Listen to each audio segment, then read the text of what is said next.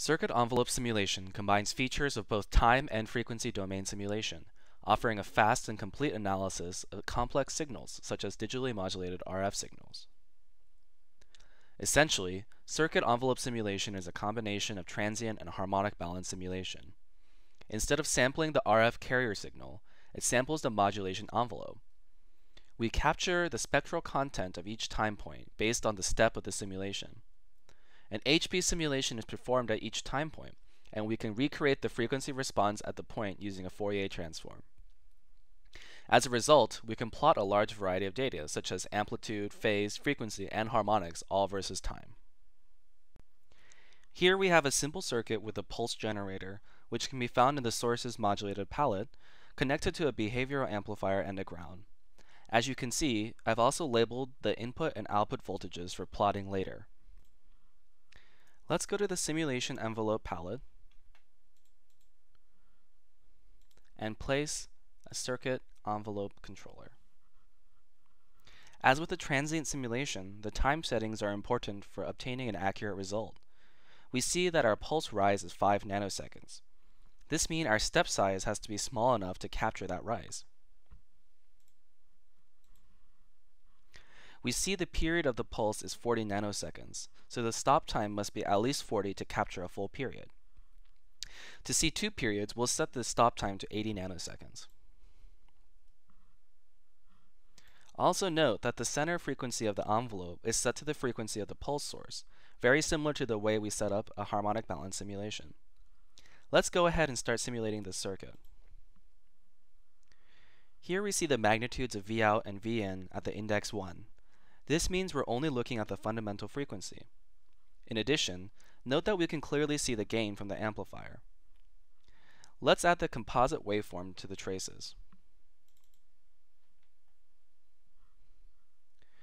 We can convert the frequency response to time using the TS function.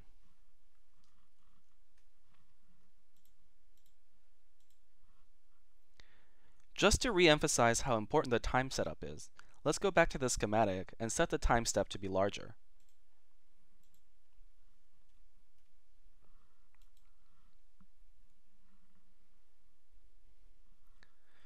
Looking at our result, we see that the plot has changed because we didn't set a high enough resolution. When you're actually computing the resolution, it's best to use variables to calculate the time step, based either on the rise time or the modulation bandwidth. For example, it's good practice to make the step size at most rise time divided by 5.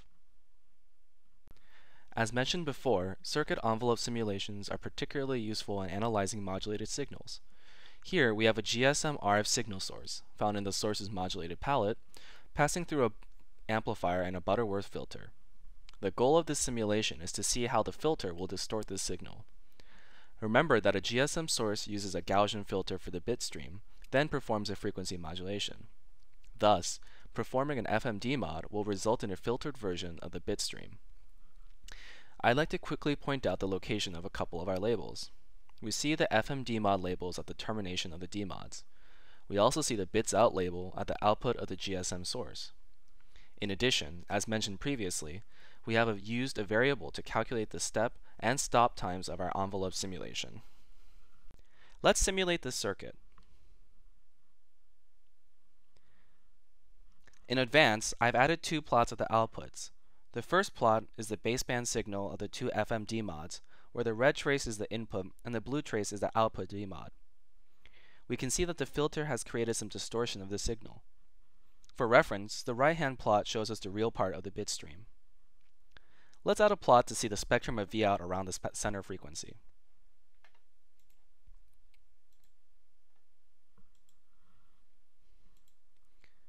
We'll add a new plot which plots the spectrum of Vout in dB using Kaiser windowing.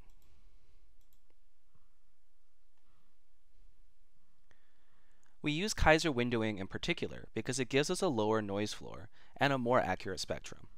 Let's perform some tuning of the Butterworth filter to see how it affects the distortion. Open the tuning window,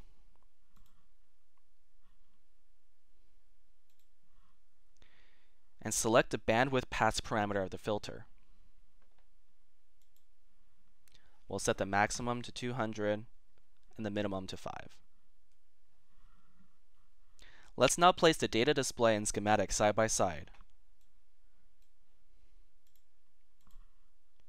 We can now see how tuning the filter can give us different results. As expected, the larger the bandwidth of the pass frequencies, the less distorted the received demod signal becomes. Thank you for watching this Keysight EEsof EDA tutorial. You can find a link to a free trial of ADS in the video description below.